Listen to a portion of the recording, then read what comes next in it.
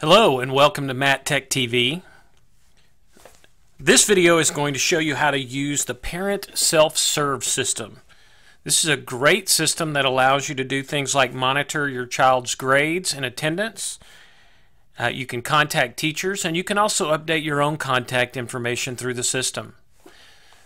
All right, to begin, go to the district homepage and click on the Parent Students link. Scroll slightly down and the very first little icon here says Student Grades and Attendance. Click on Parent Self-Serve to access the system. A window will open to the Parent Self-Serve portal. You must now first register to use the system. The following items are required to register. Your name, your child's school ID, this can be obtained by contacting your campus office, the student's name, the student's birth date, and the student's social security number or state ID. To begin the registration process, click Please Register at the bottom of this screen. On this screen, you will enter the information that was previously described. Note that you will also create your own user ID and password You'll use these in the future when you want to access the parent self-service portal. You will also create a security question and answer in case you forget your password. When finished entering this information, click Submit. You should now see a list of all your children. To access your child's records, double-click on that child's ID number. Once inside this screen, you can view their attendance.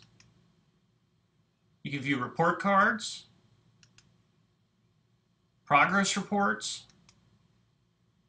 You can email their teacher. You can edit your own contact information. You can set up notifications. Using these notifications, you can receive an email anytime your student's grades drop below a certain level.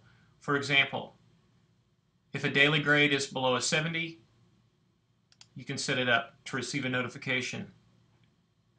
If their average is below 70, and so on. And you can change these numbers. Go in here and select the number that you want.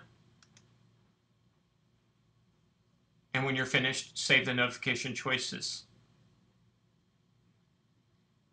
You can also select to be notified anytime your child is tardy or every time they have an unexcused absence.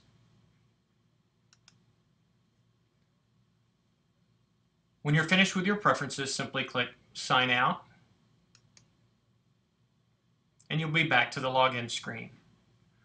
Once registered, this from this screen, you will access the student's information by clicking Existing Users, Please Sign In.